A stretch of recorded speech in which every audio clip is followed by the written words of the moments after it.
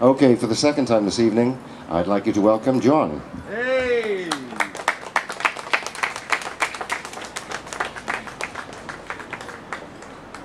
Hello. Oh. I'm going to read in Swedish, so I will speak uh, this speak in English. and now I'm finished.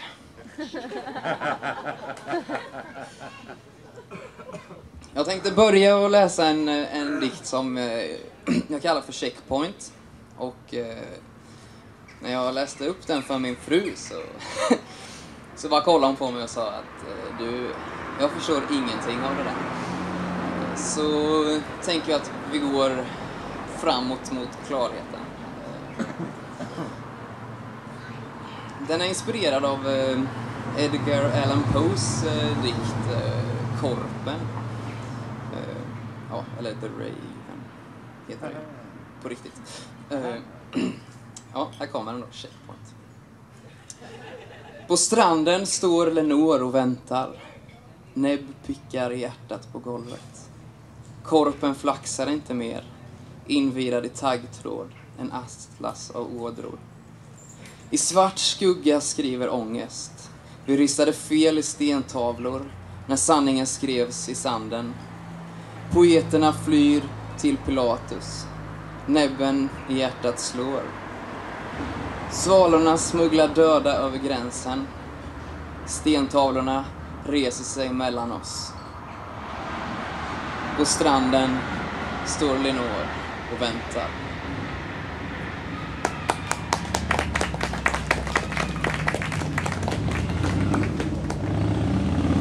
Eh, Jag läser lite... Wow. Jag läser lite ur en, eh, eh, en, eh, någon form av samling som jag har gjort till mig själv. Som jag skulle skicka till en tjej som heter Sofia, så den heter Några dikter till Sofia. Men hon svarade aldrig på det där, så när hon väl hade fått dem. Så, så kan det gå. Så nu blir ni offer istället. Så nu kommer två kortisar här.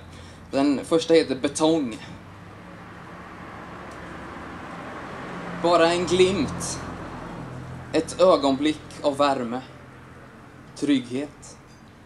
Som jag slår i betongen, som regnet faller i din blick.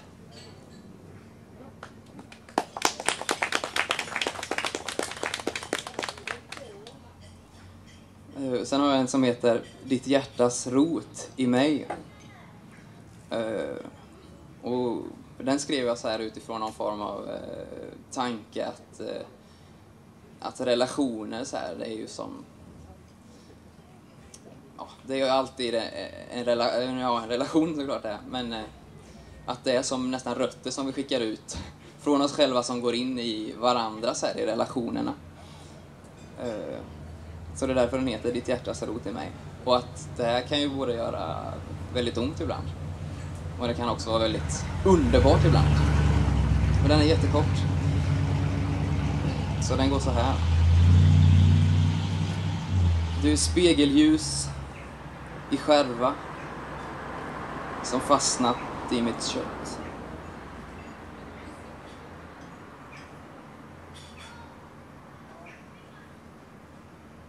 Så tänkte jag avsluta med att läsa lite ur en, eh, en pjäs som jag har skrivit.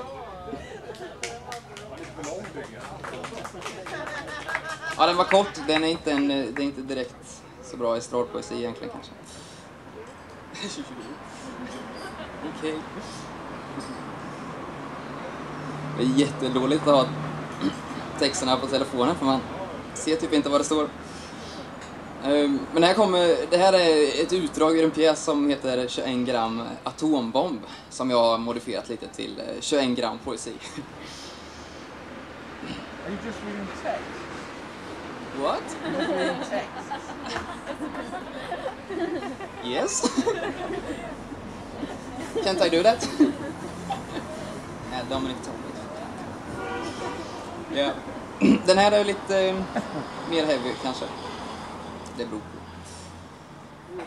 Äter kemiska substanser från psykiatriska instanser. De ska bedöva mitt fall, men istället för fallskärm förfaller jag. Deras terapi gör mig inte fri från denna melankoli.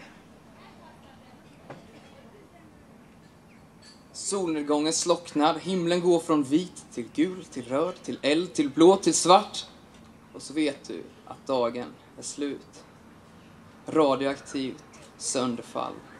Någonting är fel i mina artärers kapillärers minsta blodkropps innersta membran är tomhet.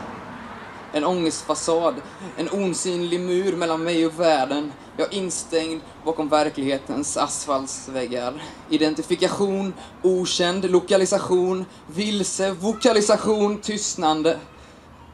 Ser hopplös prognos i diagnos där psykos förutspås. Syn mörk, hörsel inbillad, lukt steril. Neutroner i kollision skapar fission i själens koalition. Atomers fraktion skapar bombens funktion. Själen redo för detonation. Jag projektion för skapad illusion. Ingen får veta min innersta komposition. Psykisk dekonstruktion i reaktion med Jones affektion. Kognitiv kompulsion. Hej då, emotion.